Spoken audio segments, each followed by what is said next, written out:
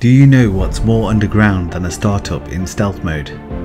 A multi billion dollar database company secretly owned, well, kind of, by a cloud infrastructure giant you've also barely heard of.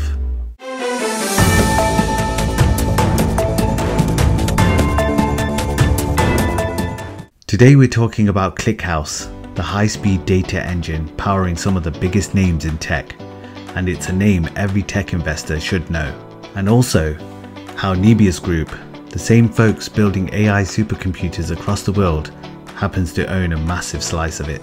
This is one of those stories where you're like, wait, why didn't anyone tell me this before? But my job is to fix that. Make sure to hit like, subscribe, and ring the bell so you don't miss content like this in the future. So, what the heck is ClickHouse? ClickHouse is an open source, column orientated database management system yeah, it's a mouthful, but here's the key. It's designed for blazing fast analytics on massive datasets. So think about petabytes of data, real-time queries, millisecond response times. It was born inside Yandex, so Russia's version of Google, around 2009, originally built to power Yandex Metrika, which tracks web traffic like Google Analytics but on steroids.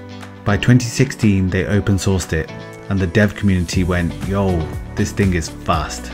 So today, ClickHouse is used by some very quiet but very big names, such as Tesla, Meta, Stripe, and even Anthropic. ClickHouse can scan over a billion rows per second per server. So how does it pull that off? Unlike traditional row-based databases like MySQL or PostgreSQL, ClickHouse stores data in columns. That means it only reads the data it actually needs. Faster, lighter, smarter. And it goes further. Data is compressed heavily. ClickHouse can shrink data sizes by 5 times or more. It supports vectorized execution, running many operations in parallel for top speed. And it avoids joins wherever possible, using something called denormalized data structures.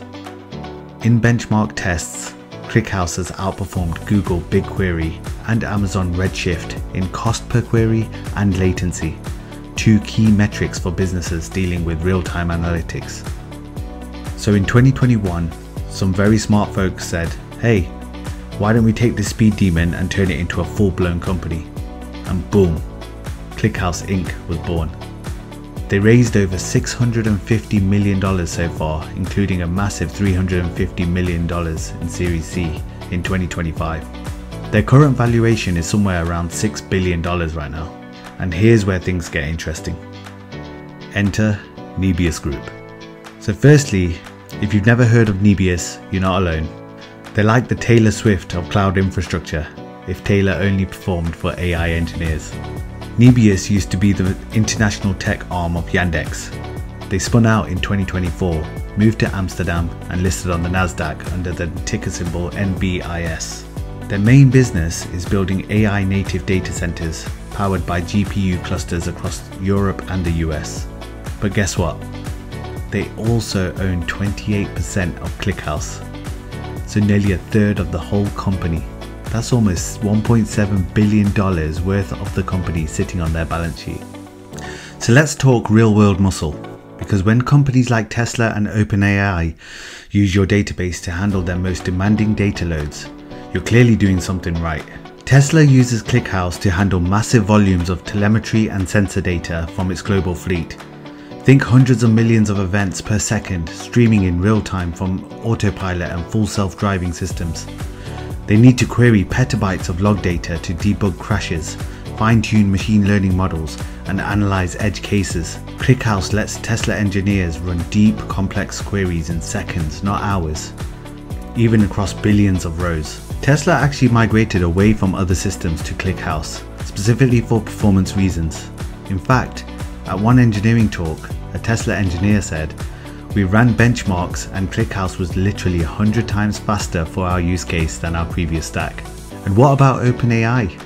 You might not expect a cutting edge AI lab to use a traditional database, but that's exactly what they do, because ClickHouse is that fast. So OpenAI uses ClickHouse to monitor and audit inference traffic from models like ChatGPT. This includes tracking requests, latency, token usage, user behavior, and failure events across billions of rows daily.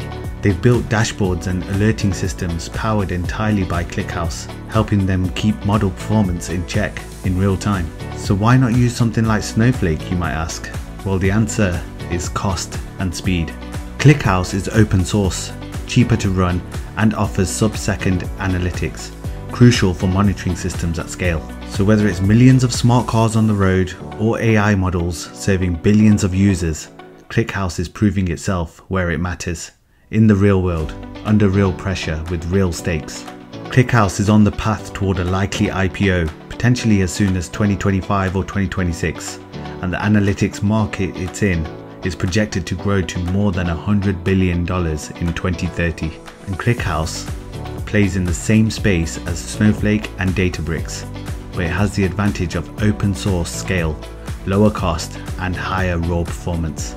So ClickHouse isn't just a database, it's a power tool for data-driven companies and potentially a power mover for your stock watch list.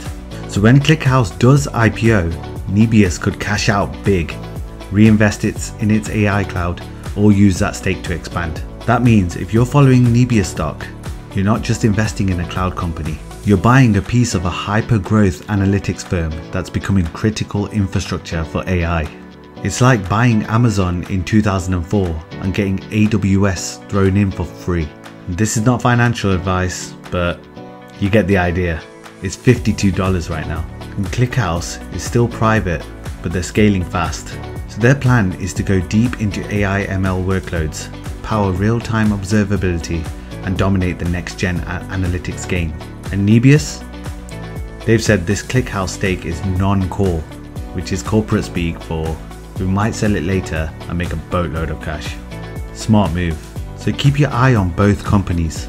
Their futures are linked and very, very interesting. If you learned something today, smash that like button and subscribe to the Nebius Network. Thanks for watching. See you next time.